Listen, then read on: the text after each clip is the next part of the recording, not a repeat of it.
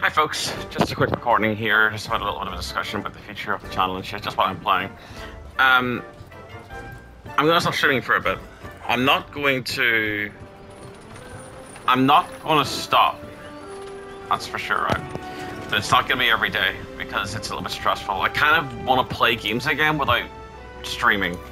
Um, what I want to do is I want to do lots of clips so like whenever like moments happen, what I used to do in this channel was whenever there was like moments that would happen, like before all the streaming started to happen, uh, what I used to do was I used to like upload clips and they were like more fun. Cause like what I realized like as I more the more I do it, as I look back at my channel, which is the whole reason I want it, I look back and I look at three hour videos and I'm like, I don't want to watch that.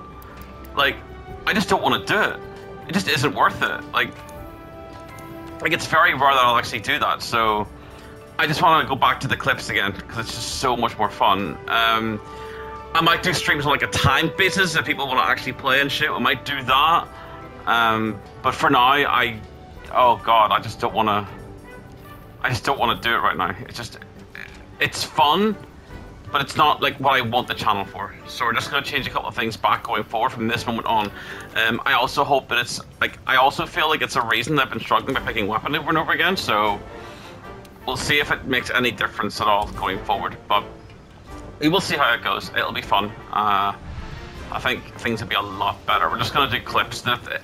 It'll be just the way it was before. So yeah, that's my update for now, and we will continue on with the future of the channel.